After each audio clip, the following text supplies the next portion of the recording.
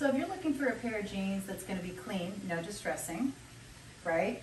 And it's going to have a little bit more give than a straight, or a little bit more give than a, than a skinny, but not too baggy, like a boyfriend sometimes, right? This is that perfect in between. Now technically they're calling this a relaxed fit, but I have to tell you, I find that it fits really, really nicely as an in-between skinny and relaxed. In fact, this is one where once again, I, I kept my regular size, I didn't go down a size because of the way it fits. I also love the fact that these have real pockets in the front, they have the zip and the fly, they have the real pockets in the back. How great is that? They're finished, they have a hem on the, on the cuff, which is fabulous if you want a more finished look, and they're gonna be high waist.